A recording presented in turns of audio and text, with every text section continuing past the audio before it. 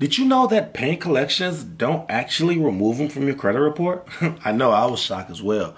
Guys, in today's video, I'm going to teach you why that is and how you can make your collections disappear forever. Guys, stay tuned.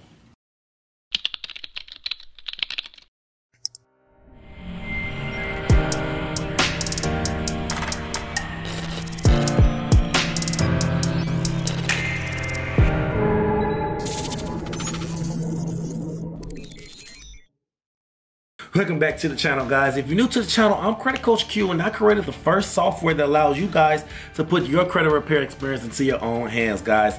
Guys, in today's video, I'm super, super excited because I have a banger, guys. We're talking about collections, guys. Now, this is one of the best topics to really talk about because there's so many misconceptions about collections, guys. So many people actually pay the collections and actually get no results in terms of data points gathered on their credit report because of the removal, guys. Now, paying collections is difficult because it's actually a science behind it, right? Now, before we get into that, guys, please like and subscribe to the channel. Guys, it helps the channel grow and it helps us get into the YouTube algorithm and it allows the channel to actually go to a wider audience, guys. Thank you. Now, guys, collections is one of the things that you have to be careful with because paying them can actually put you in a deeper hole that the collection normally was in, guys. Now, the reason I say that is because when you pay a collection, you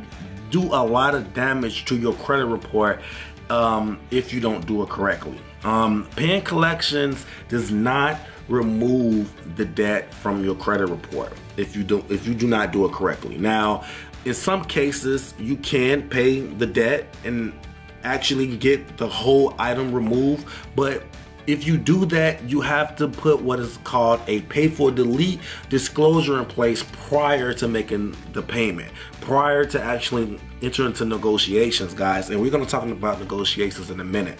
But the first thing you need to know is what a collection is. So for, for those that don't know, a collection is an item that you default on in for any type of loan agreement. Now that can be a credit card, that could be um, a repossession, that can be a eviction, that can be any type of lease or loan agreement that you uh, uh apply for and get approved for and you default on it, right? Now, collections actually get sold 90% of the time to a collection agency. Now, the collection agency have to actually go and do certain regulations that they normally don't do prior to actually pursuing you for the debt, right? And those procedures, guys, are items that you definitely want to know um, before you ever enter a conversation with a collection agency um, rep, right? So first, you want to understand that they cannot contact you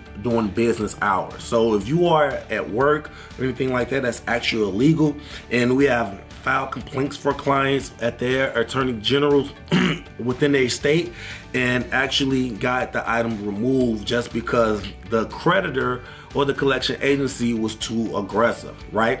So understand that they have to actually go about the pursuit a certain type of way. If you feel like you are being aggressively attacked or if you feel like they are um, bombarding you as far as the debt is concerned, guys, please look up the, the regulations for the collection agencies within your state.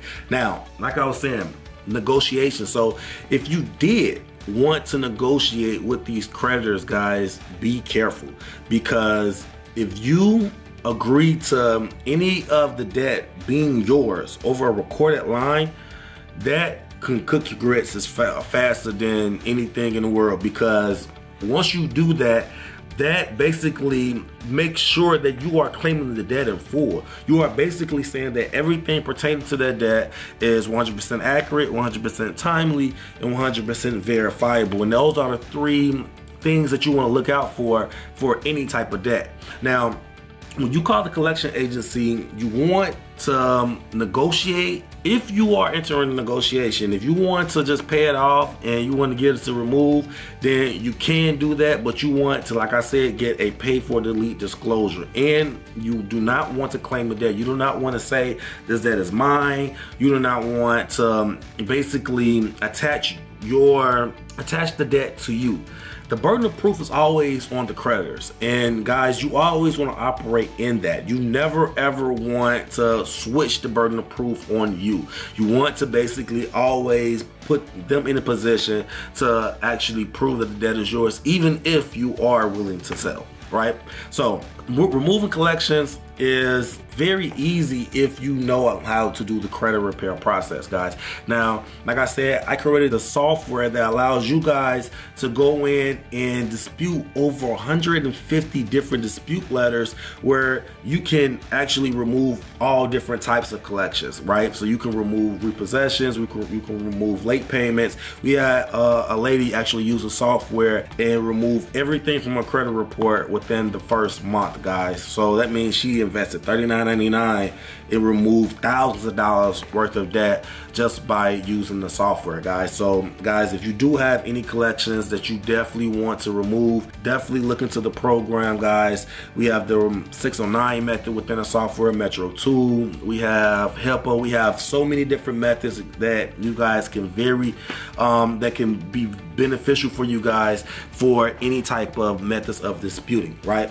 So guys never ever pay collections if you are not willing to actually put a, a proper method in place prior to doing it, guys. Um, if you do pay it, it's not going to be removed from your credit report. So a traditional way, um, someone will call the creditor, claim the debt, pay the debt, and think that the debt is going to be removed from the credit report. That's not what's going to happen. You're going to pay the debt. The debt is statute of limitations is going to start completely over as soon as you do that and they're not going to remove it. And then what you're going to do, you're going to call the creditor and you're going to say, I had this debt, I paid this debt, I don't even know why it's on my credit report. And they're going to tell you by law, once you agree to the debt, we have the right to leave it on your credit report for seven years. So you have to wait for that debt to stay on your credit report for seven years after you pay it. So what's the point of paying it, Coach Q? I don't know, unless you put proper methods in place. And if you're not a, a master negotiator where you can put proper negotiation tactics in place where you're not claiming the debt but still negotiating the debt, then I wouldn't even uh, get on the phone with a rep because these reps are trained to kill. So you do not want to get on, on the phone with one of these reps and play games if you're not um, a, a, good um, talker. So, but guys, if you found any of this information helpful, please like and subscribe to the channel. Like I said, it helps with the algorithm and it helps the content go to a wider audience. Guys, till next time, take care of yourself and take care of your credit. Bye.